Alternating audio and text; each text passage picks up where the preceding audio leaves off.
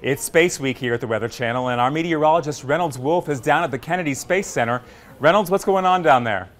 Matt, I'm coming to you from the Rocket Garden here at Kennedy Space Center. And if you look behind me, you might see quite a few rockets. But let me tell you, these are things that really aren't much different from Magellan's boat as he made his circumnavigation around the globe, or, or the Conestoga that people took crossing the country, or, or even Lewis and Clark getting in the Pirogues going up the Missouri River. It's all part of exploration. And you can see a couple of great things here in the, in the, in the foreground. You see a couple of, of uh, I guess, satellite rockets, but farther off, to the right, you'll notice one that's striped. That is actually uh, the rocket, or at least the type of rocket, a model of it, of the Mercury 7 program. That was actually one that uh, Al Shepard and Gus Grissom went on. But if you pivot a little bit more over to the other, you'll see the Atlas booster, and that was the type of rocket that put John Glenn into orbit.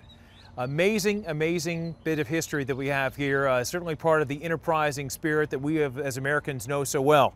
Uh, an amazing time. If you ever get the opportunity, by all means, I uh, recommend all reviewers to come out here and, and just really enjoy this firsthand. All right, let's send it back to you.